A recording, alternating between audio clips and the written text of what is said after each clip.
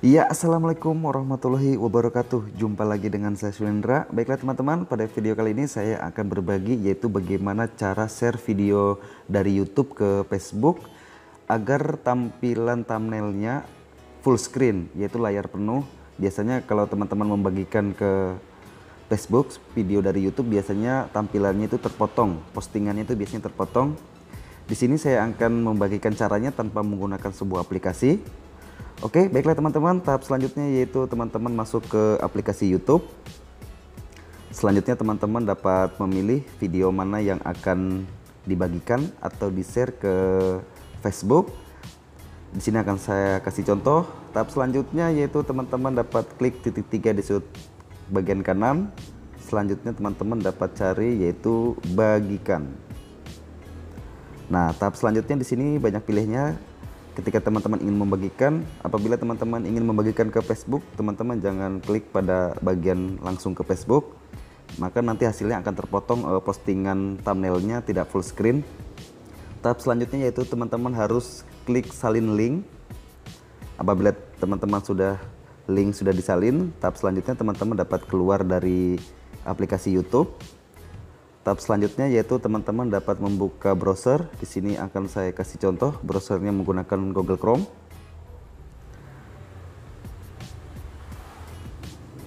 Tahap selanjutnya yaitu teman-teman dapat klik di pencarian yaitu YouTube for FB. Oh maaf, YouTube to FB. fb.com. Selanjutnya teman-teman dapat masuk.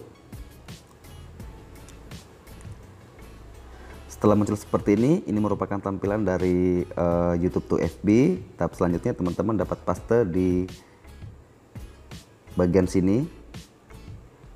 Selanjutnya teman-teman dapat tempel link yang sudah di copy tadi. Selanjutnya teman-teman dapat convert pada bagian kanan. Nah, maka akan muncul seperti ini pada bagian video yang akan kita share ke Facebook tampilannya yaitu full screen tidak terpotong setelah seperti ini selanjutnya teman-teman dapat share ke Facebook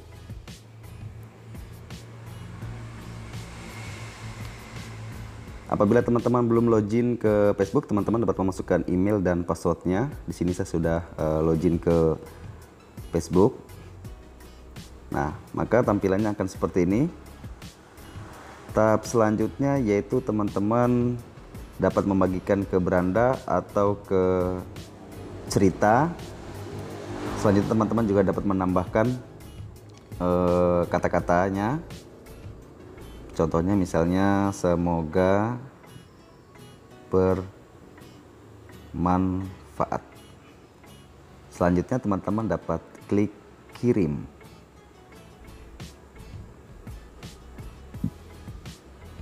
Selanjutnya teman-teman dapat keluar dan dapat masuk ke aplikasi Facebook. Ya, ya inilah teman-teman hasil tampilannya yaitu menjadi luas, itu full screen, thumbnailnya tidak terpotong. Selanjutnya teman-teman dapat klik uh, foto profil Facebooknya, kita lihat hasilnya seperti apa. Maka ketika membagikan video di YouTube ke Facebook, tampilannya akan luas seperti ini, tidak terpotong apabila teman-teman membagikan secara langsung maka akan hasilnya akan terpotong. Tampilan thumbnailnya tidak full screen tidak layar penuh. Ketika teman-teman menggunakan e, masuk ke browser tadi yaitu hasilnya akan penuh seperti ini akan luas.